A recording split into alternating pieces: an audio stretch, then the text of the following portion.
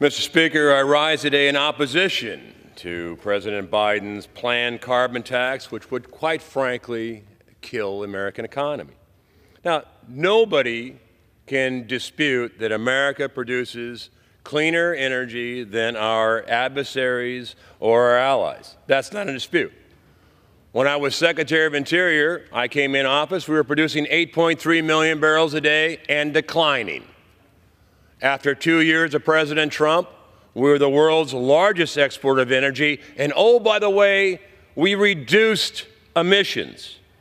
We had the record in safety because nobody produces energy more cost effective, cleaner than we do. So the answer is this it's not to punish American producers or Americans for having a resource and using it wisely.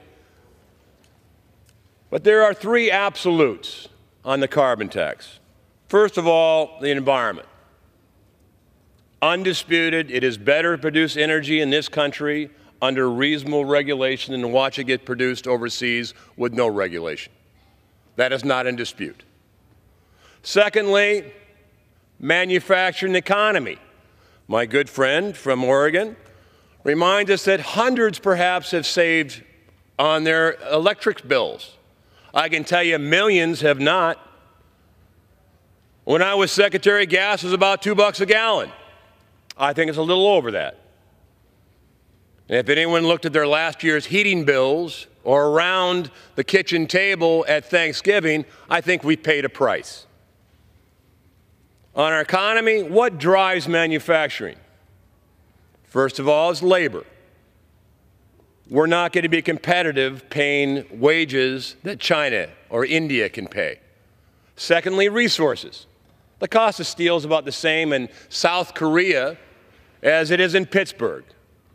Where America has the edge are two things innovation and energy. And today's energy is going to be different than tomorrow's energy needs. Data storage, robotics, all require more and more energy. And that energy is not going to come from pixie dust and hope. National security. This is an area I'm familiar with. I've lost a lot of friends and colleagues overseas, primarily fighting for other people's oil and energy. I think it's immoral to send our troops overseas and fight for a resource we have here.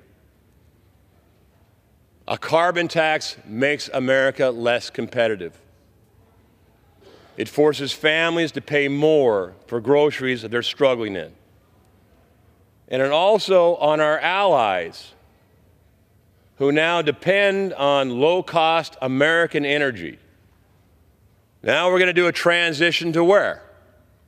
EV in China land? Does anyone realize that 85% of the critical minerals that power EV, lithium, nickel, processing, are all in China? So the very idea we would make ourselves less competitive and give the advantage to our adversaries, and who's going to produce energy? If it's not us, who will? I can make a list. Perhaps Iran perhaps Venezuela, perhaps Russia. So we either produce energy in this country under our regulations for the environment, for national security, to run our country, or we cede, we retreat. So this carbon tax is a terrible, terrible idea. And Mr. Speaker, I yield back.